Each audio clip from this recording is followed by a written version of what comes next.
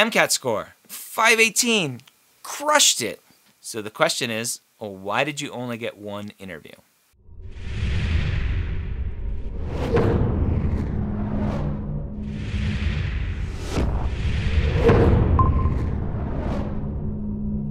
Application Renovation Season 3. How are you doing today? I'm doing very well. How are you? I am wonderful. I'm excited to chat with you about your application. And I'm excited to hear that uh, from when you applied to be on application renovation, you had zero interviews, but you got one interview. Uh, Yeah. and we're waiting to hear back. So hopefully, good news. Um, Yeah. But if not good news, hopefully we'll cover some things today that will make you a stronger applicant next time and hopefully help some people watching as well. Yeah. So, tell me a little bit about uh, about why you think the application cycle hasn't gone as well as you wanted it to go. I think with my application, it wasn't really much about the stats, uh, but it was mostly about, I think, how I told my story. I think that I was too much into, um, I was trying to show, not tell, but at the same time, I think I got caught up in my own head, if that makes sense. And so I ended up maybe not doing such a great job because I was too worried about how to, you know, you hear a lot about people wanting to stand out, but Yep. that overcomplicates everything. It usually does, unfortunately. Hopefully, I've done enough application renovations where people will never make that mistake again, but unfortunately, people do. Uh, and it'll be my job to fight that for the rest of my life. So, um, all right. Are you ready to jump into your application? yeah, totally. All right, so let's look at your application here. So I, I highlighted 627 as a application date, not super late, just a little bit later. But the bigger thing is, you could see uh, if if students have watched earlier application renovations, applying just a couple weeks earlier has a huge difference on when that process date happened. And some of this was COVID related with um, transcript issues and lots of other things that the AAMC completely mishandled. Um, but whatever, it is what it is. Um, you're an international applicant, and so that that complicates things and um, makes makes things a little bit harder because not every school will accept an international applicant, and there's always lots of, of homework that students need to do to find these quote unquote international friendly schools. Then we get to your disadvantaged essay. hmm And you see here that I wrote 24 typos. Talk to me about, and, and I didn't, I, I wanted to go and do a character count. Um, it Mhm. looks pretty close to the 1,325 characters that you're given for this. I want to understand, and I'll zoom in here so students can see the lack of spaces after Okay. punctuation. Was that strategic for character count? Or is that some Italian thing? I was Googling it. I'm like, do Italians lose, use spaces after punctuation? And my wife was like, why are you being so stereotypical? I'm like, I'm just asking a question. I don't know. Um, it's not an Italian thing. I think it was just um, me trying to. I don't know. I think at some point you're proofreading so much, you're like removing and adding things, and I probably just went through spaces. I was like, oh, that's I don't that. this is a wasted space. I don't need that. And so there was just there was something about seeing this, and it's throughout the whole application, unfortunately. okay. to where if I saw this, honestly, I would I would just throw it out. Okay. I would go, this student, I'm not sure what happened here, but the student obviously is either A trying to game the system by mm-hmm. writing 1325 quote unquote characters without spaces. They're like, ah, people don't need spaces. Like, I'm surprised you didn't delete the spaces in between words too. I'm like, oh, we don't need, we don't need these spaces either. Um, yeah, and, and so that was just a, right off the bat. I'm like, what's going on here? Um, and I counted them, and it's like, okay, 24. If I want to count those as typos, that's 24 typos. Okay. Um, and I would have just given up on the application at that point. Um, but let's ignore that, right? I just want to get that off the bat. Let's ignore that and look at the messaging. And so the messaging is I'm disadvantaged because I'm an immigrant. And I'm not sure that's a disadvantaged student. Um, okay. Right? The disadvantage is typically like I'm in this situation and uh, I grew up in this area. My parents were poor. I, I, lived in, I lived in a rural environment and I didn't have access to healthcare. I didn't have access to these things. I had to work when I was 10, whatever, right? You put yourself in this situation. And so I'm like, is this disadvantaged or not? And and I kind of go back and forth. And and I've heard stories like a, another student who came to this country at 18 for higher education, but came with his sister and basically was his sister's parent because it was just the mm-hmm. two of them that came together uh, and the parents stayed back in their home country. And so that to me is a little bit more disadvantaged. You're like, hey, I had to come to a new country, learn a new language, new culture, and I didn't have access to other things. And I was just, I was a little bit less enthusiastic about this as a disadvantaged essay. And then the the other part of it was the second half was basically imposter syndrome. You're like, I don't know if I'm good enough. Other students seem to have more than me. And so I wasn't a big fan of this disadvantage essay. And I do have uh, my new book that's coming out, and I'll send you a copy of it. Um, the Pre Med Playbook Guide to the Medical School Application Process does have a section on disadvantaged essays with examples mm-hmm. and feedback, etc. Um, and so, right off the bat, maybe not the best disadvantaged story and lots of typos if we want to count those as typos.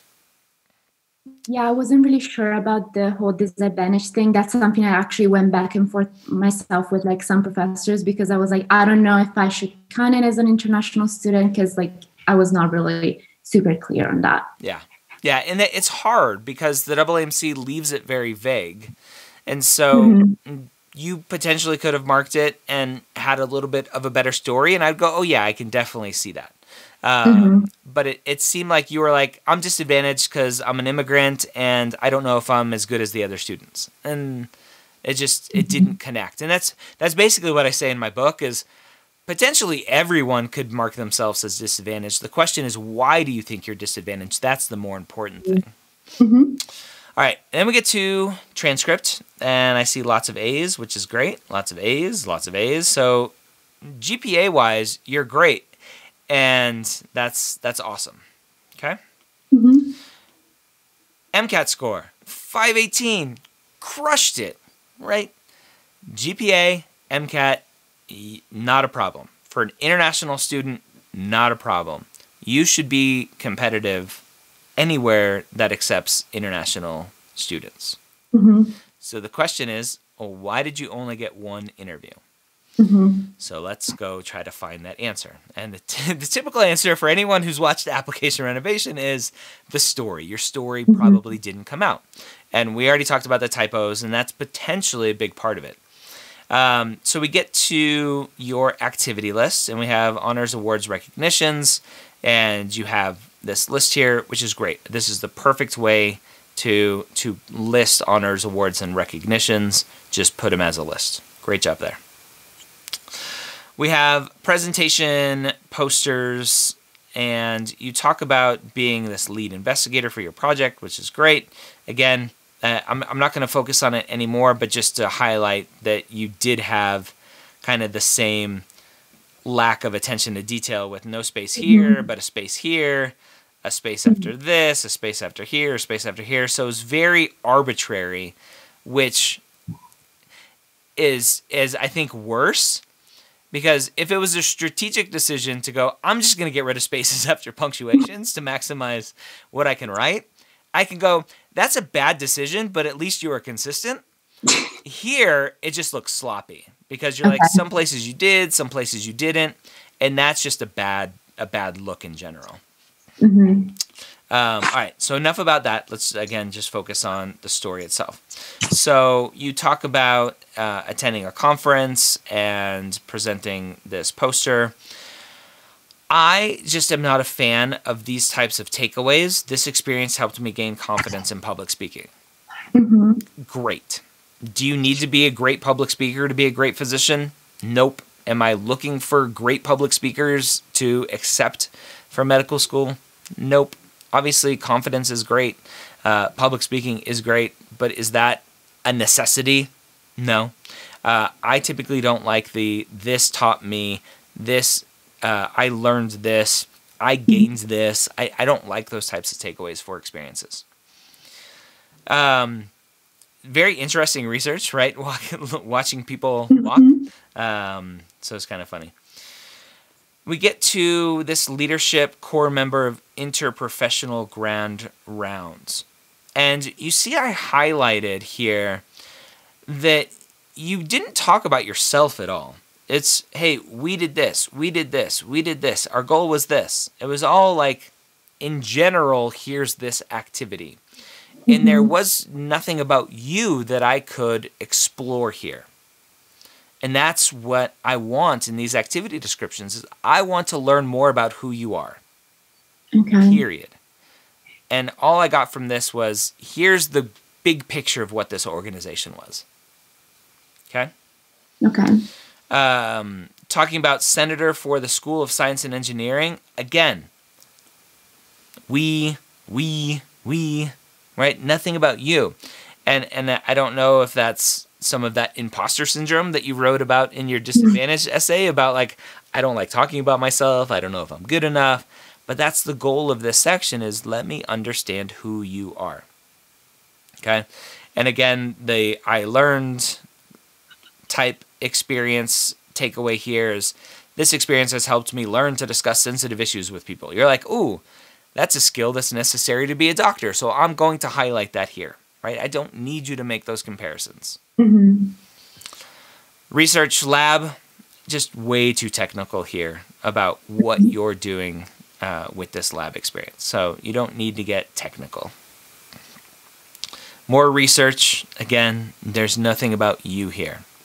Um, it's just the, the project in general. Uh, again, your takeaway was, hey, I learned lab techniques. Okay, great. uh, not important. Mm-hmm. Um, more research in lab. So, right off the bat, I'm like, lots of research going on here. And it's not uncommon, unfortunately, for international students to have a lot of research because that's uh, a lot of research is school based, where you mm-hmm. have access as someone who's on a visa versus going out and getting a job, getting yeah. clinical experience. It's much harder. So I understand that as an international applicant. It's just it's one of the unfortunate struggles. Mm-hmm. Um, and so again, what did you learn? Well, I learned organization, precision, and leadership. Again, I don't care. I'm not interested mm-hmm. in that. I want to know who you are, not that you think you have the skills necessary to be a doctor. And then we have um, clinical experience, and I'm pretty sure this was your only clinical experience, if I remember correctly, which is Cope Health Scholar. Mm-hmm. It was several years ago. 250 hours is, is a lot of hours, but it's one chunk during the summer many years ago. And so there's there's always going to be this question mark of why don't you have more clinical experience? And again, I, I understand from an international student perspective, it's harder. It's not impossible. It just makes it harder. Mm-hmm. Um, basic job description of what Cope Health is in terms of your experience description. You have an interesting story that you try to talk about in your most meaningful experience remarks. Um, but you you focus on these weird like I made sure the isolation carts were stocked with gowns, gloves, and masks. Like, don't focus on that stuff because that's not clinical experience, right? Mm-hmm. Um, and so it brings doubt into the reviewer's mind. Is this truly clinical experience? You have 250 hours here over the course of a couple months. Was half of it this kind of just stocking the shelves? Um, and so don't focus on on that kind of stuff. Mm-hmm. Um, and then just a style thing here of whom I will call, right? You don't need that. Put Dr. S, put it in quotes the first time you use it, um, or just use real initials, right? Doctor's initials are less important to kind of keep anonymous than patients are. So, okay. um, I, I don't like the whom I will call type language. Um, I would have loved to see a story about a patient interaction, right? Tell me a, a patient interaction, show me that experience, why that was important to you. Your next experience here volunteer at Holly Park Community Church. Again, just a very basic job description, nothing about who you are. Um, again, chemistry tutor, lots of hours. So there's this weird thing that I highlighted this.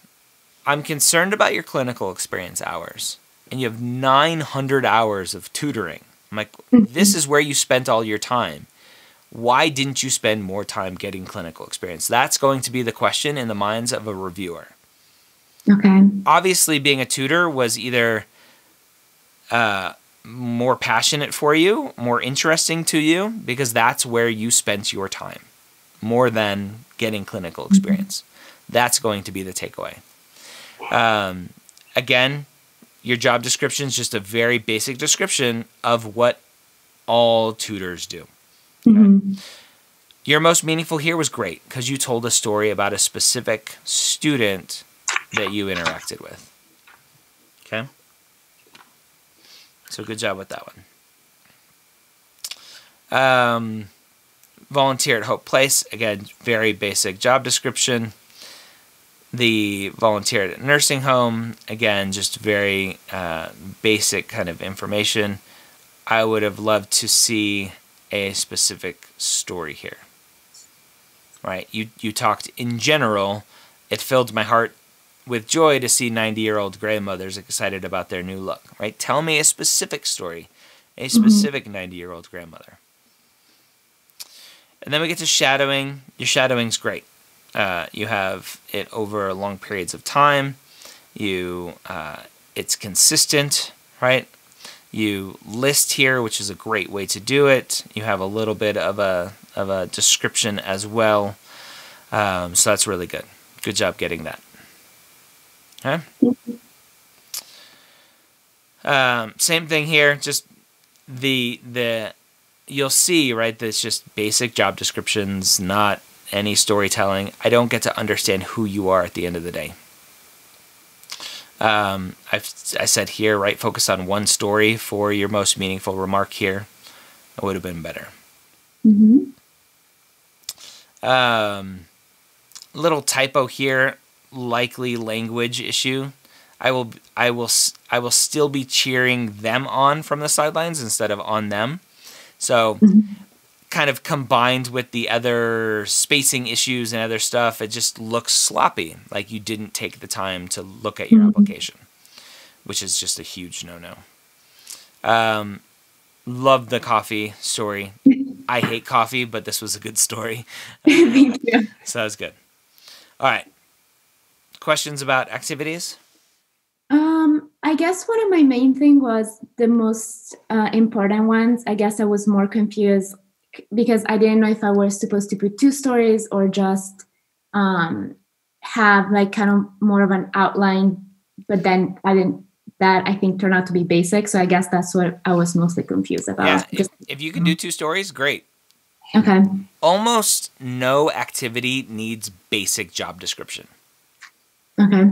It just doesn't need it. It doesn't mm-hmm. help me understand who you are. Makes sense. Okay. All right. Let's get into personal statement.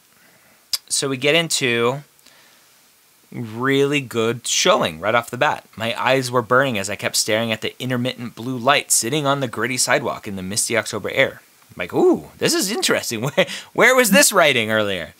Right? I was waiting to see my cousin walk out of the ambulance as if nothing had happened. My 10 year old brain tried to come up. Right? So, right off the bat, I'm like, okay, I'm intrigued. What's going on here? Um, and then you have this story of someone who it, it, looks like they died, right? Your, your cousin mm-hmm. died of this brain aneurysm. And so, right off the bat, I can see that something impactful happened to you and this potentially led to you exploring healthcare in some way. And mm-hmm. so you you talk about, and again, just one more highlight here of just some spaces, some not spaces. So again, just some sloppiness. Um, you get to this story of okay, what's the reflection, right? What did this mean to you? And you get all the way down to so you have this first paragraph that tells an interesting story. You get into this second paragraph talking about your primary care physician who was kind of there to help support you through this. Um, the once the dust settled, this unrest turned into motivation. Dr. M's support showed me that good can derive from awful situations. Physicians don't have a magic wand that can fix everything or the answer to every question, but they can be a supporting, listening presence, and this can make a huge impact on people's life. So I think what you were trying to do was show how that interested you, mm-hmm. but what it turned into was just a generic statement. The mm-hmm. goal is why do you want to be a doctor? How did this experience motivate you to explore healthcare? And you just left it with a generic statement of like, ooh, doctors can help. Mm-hmm. Not, I want to be a doctor, but ooh, doctors can be helpful. Okay. So very common, like you got halfway there and then you, you stopped. Okay. Um, you you do kind of say here this is the the first attraction to medicine, which is great, and then you have other experiences. So you're you're on the right track. It could be more impactful. Okay. The story here, right? Shadowing. I typically do not like shadowing as stories in a personal statement because shadowing typically is I saw doctor in in this specific situation, um, you don't have the doctor's name here. It doesn't look like, but I saw Dr. Smith do this. I saw Dr. Smith do that. I saw Dr. Smith be impactful. I saw Dr. Smith be compassionate. I want to be like Dr. Smith. That's typically the the structure of shadowing in a personal statement. It's just not very impactful. Mm-hmm. Um, and so you you have it here I observe the physicians address patients holistically, examining them as multifaceted individuals. What's the point of that statement? I guess looking back on it, I'm just like, I felt like it belonged there, but then also, like what you just said, it has nothing to do with me, but just what it has to do with others exactly. Exactly. And so you have a patient story that you're coming in here with, again, whom I will call, get rid of that and just put quotes around John the first time you use it. Mm-hmm. That that makes it known to be a pseudonym. Um, extreme fatigue, um, and then you get into this comparison of like, oh, John came in for fatigue, had diabetes, he was an immigrant. This is something I could relate to, having left my family. Um, potentially, it works in a personal statement to try to bring that in. Um, not super necessary to help me understand why you want to be a doctor. Mm-hmm. And so I, I'm like, okay, where's this going? And then you have this I understood the desire to achieve something that in our country wasn't possible. Now, are you talking about Italy? Are you talking about the US? I'm not sure what you're talking about. Because you say mm-hmm. our country, which is the country of John, I'm assuming um, unless John is also mm-hmm. from Italy, and so our country is Italy. So it's just some confusion there about exactly where you're talking about. Um, and then you get a little bit of kind of like why you're leaving, although this is in your disadvantaged essay. So is it necessary to be in your personal statement? If it's mm-hmm. going to be in one, it doesn't have to be in the other. And then again, the the the biggest takeaway here is the doctor, right? The doctor listened and developed a patient centric plan. And this patient centric conversation also showed me a teaching and learning aspect to medicine, which aligns with my pre existing passion for learning, right? I like science, I love to learn, super cliche, don't need that. Uh, solidified through my tutoring experience. It's like, oh, I'm ready to be a doctor because I was a tutor. That's basically what you're saying here. Okay. Okay. So not you're you're focused on the wrong thing. The focus should be here's why I want to be a doctor. Here's why this experience with John confirmed in my mind that I want to be a physician. And you twisted it to here's what I saw with this exposure with John and the interaction with John and the doctor that made me realize that I have the skills necessary to be a doctor. Okay. okay. Makes sense. So then you talk about the volunteering, seeing this population you would love to help as a doctor. Why did you go here? Um, I I guess because one of like my main uh, volunteering activity has always been um, with underprivileged children or children that have experienced trauma, and that's something that I do know that if I do become a doctor, is something that I'd want to continue working on. Okay. Um, and I thought about including that in my personal statement as well, um, but I'm not. But I wasn't really sure like how to put it in in a way that would like be smooth and like be coherent with the narrative, I guess. Okay. So I don't think it belongs in a personal statement. I, I typically reserve the personal statement for why do you want to be a doctor, not what do you hope to do as a physician.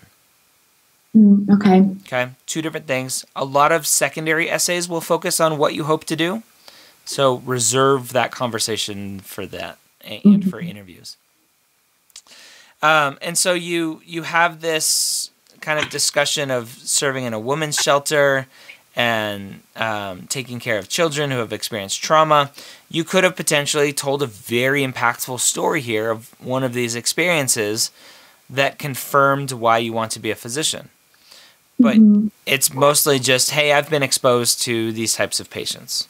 And here's what I've learned from it, right? I've learned how to de escalate aggressive behaviors and listen, acknowledge, and be present. Again, you're focused on skills, and I, I just want to know why do you want to be a doctor, right? Why mm-hmm. medicine? Okay.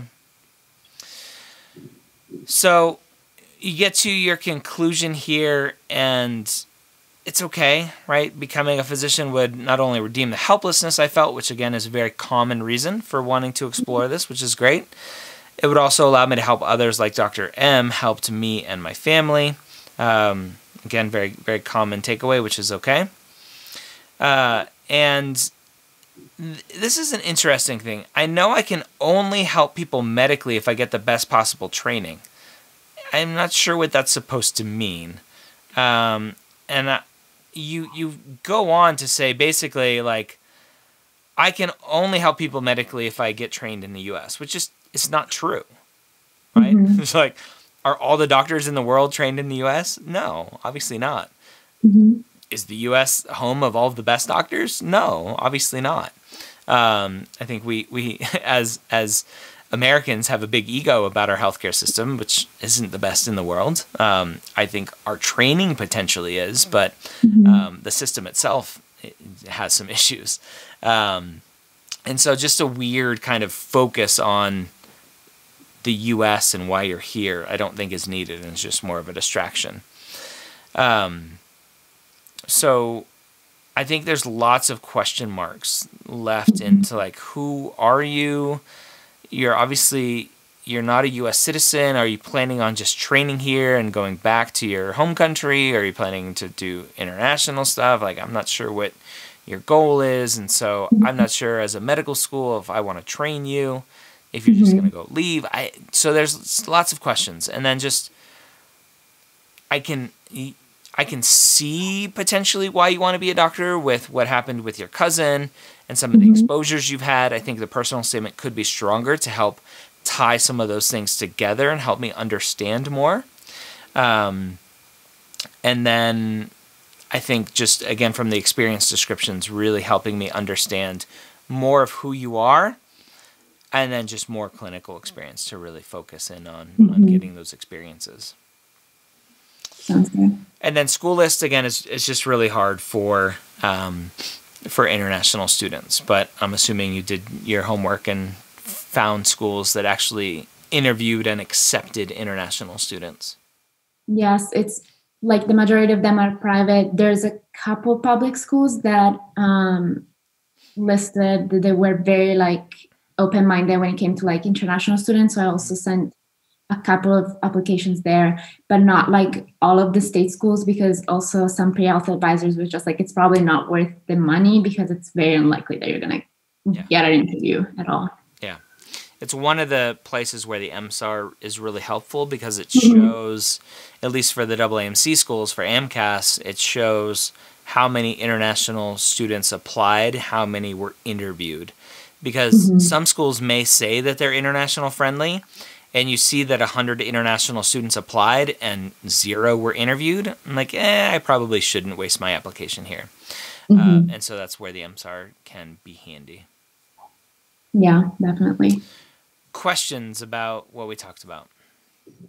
Um, if I were to reapply, so you would say it's most essentially mostly about like the focus on the story and like a lot more showing who I am essentially. That's in, in terms of your activity descriptions. Mm-hmm. Uh, I think you need more clinical experience. Period. I'm currently like a medical scribe. I've been since like the end of last. The thing is like I so I graduated in June and like I couldn't work off campus because being on a visa. So I can only I could only work off campus once I graduated, and I started working as a scribe like in August. Great, perfect. And so that's a potential update for mm-hmm. the school where you interviewed at. If if they mm-hmm. don't know that, um, I would potentially update them on that once mm-hmm. they give you some sort of decision, hopefully here in the next couple weeks.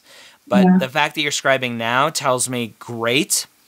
Go ahead and apply this next cycle. Uh, okay. Uh, if you didn't have any clinical experience, still, I would say don't apply this cycle and mm-hmm. get that clinical experience but mm-hmm. you've, you've been getting clinical experience. You'll have almost a year by the time you apply, which is yeah. which is awesome. And hopefully you can reflect on some of those stories. Scribing is, is hard to to have some good impactful stories because it's basically shadowing on steroids, uh, but it, it's it's better than nothing. Okay, sounds good.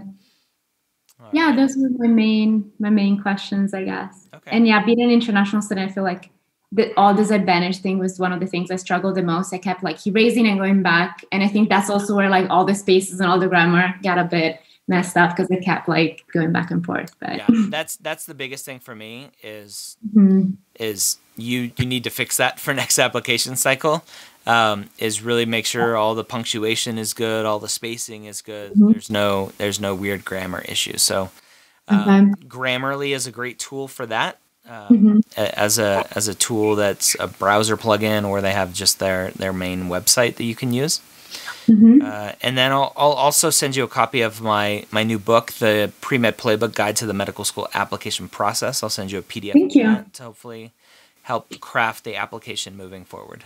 Mm-hmm. Thank you so much, Dr. Gray. Yeah, you're welcome. Anything else I can help you with? No, I think that's it. awesome. Well, good luck and keep us updated, please. Will do. Thank you.